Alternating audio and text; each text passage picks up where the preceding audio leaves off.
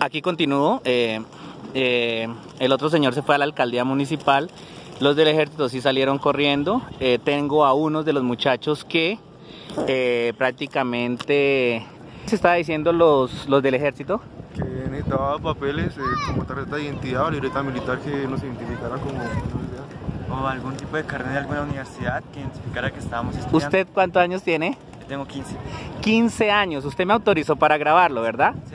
Él sí me autorizó para grabarlo. Es que se ve a leguas que es un niño, o sea...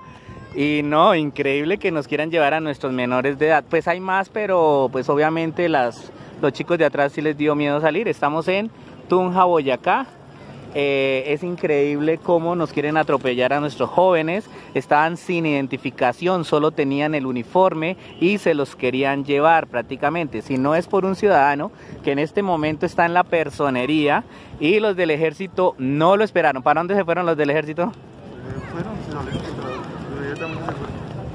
Ah, perfecto.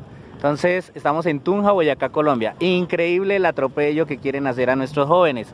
Ya tuvimos un episodio de falsos positivos en Bogotá, Soacha, y hacían lo mismo con estos jóvenes. Y espero que no nos pase aquí en Boyacá porque, pues, triste, ¿no? Entonces, espero que toda la comunidad grabe, grabemos todo lo que ocurre y protejamos a nuestros jóvenes, jóvenes y adultos. Gracias.